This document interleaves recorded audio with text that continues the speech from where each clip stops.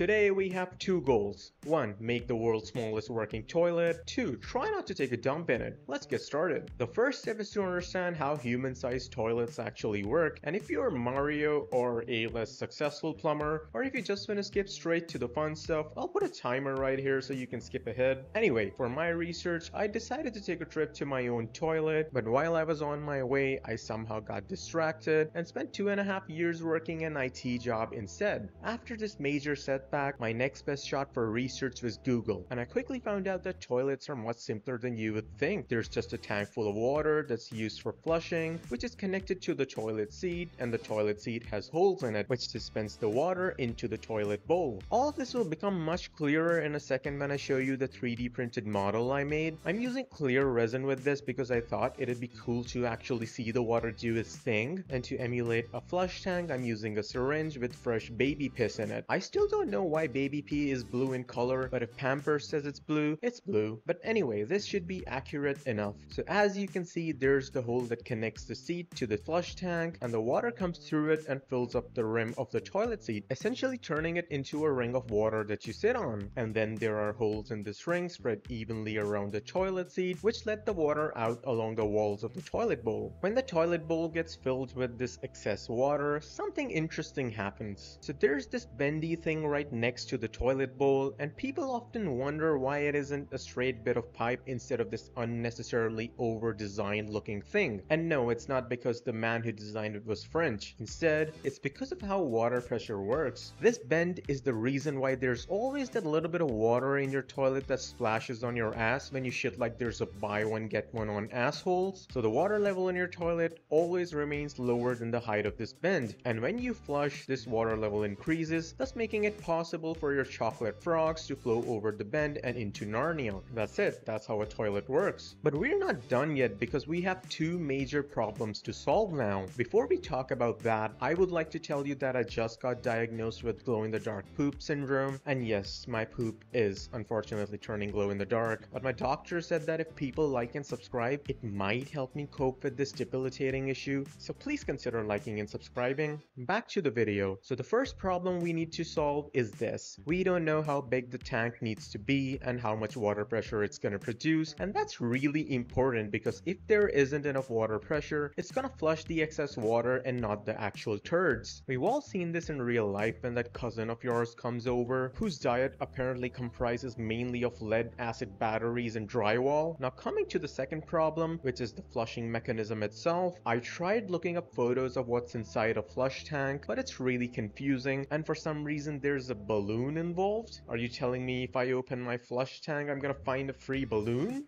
This doesn't sound right, man. Anyway, to solve both of these problems, I started working on the flush tank itself and set its dimensions in a way that allows it to carry about 20 milliliters or two thirds of a fluid ounce of water, which is comparable to the amount of water I was using for my initial tests, so hopefully we shouldn't run into any drywall eating cousin issues. Now for the second problem, I really went back to my roots. And by my roots, I mean shit flinging smooth brain monkey mode because I came up with this. So it's basically gonna be like a bathtub drain stopper connected by a string to a beam that rotates like this. So when you push the flush lever down, it unplugs the drain and the water flows into the toilet. Let's try it out with the toilet seat. After attaching everything, we can fill the tank up with water and try flushing. Okay, so it does flush, but we've now run into another major issue. Remember when I said that I went full on monkey brain while I was designing this? Yeah, so I may have overlooked one minor detail. It only flushes once. I've basically created the world's first single-use toilet, because once you pull the lever down and unplug the drain cover, it doesn't reset on its own. So you're gonna have to open the flush tank up and manually reset it every single time. And at that point, I'd rather just shit in a Doritos bag instead. Not, not, not that I've ever had to do it before. Anyway, we need to fix this.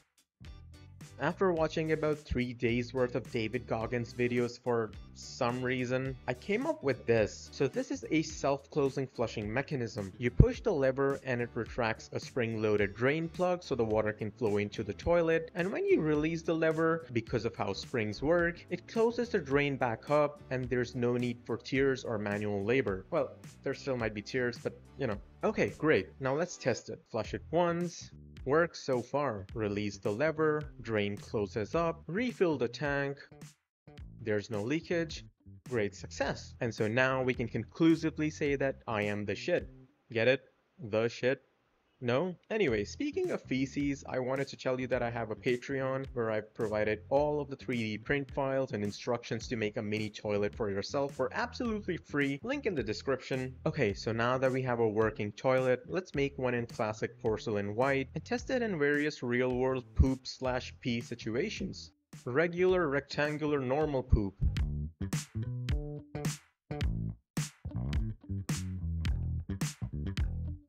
Two out of three turds recommend Colgate.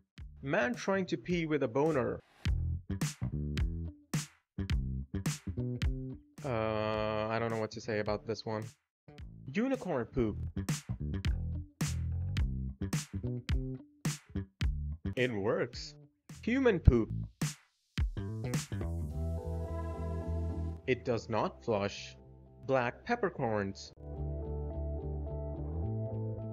It works and it looks pretty cool. Charlie Sheen's nutritious breakfast.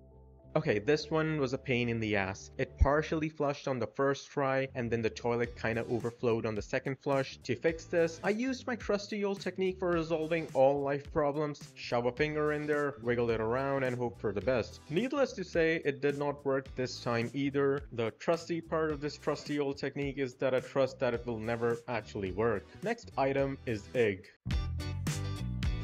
It works perfectly. Hamster diarrhea.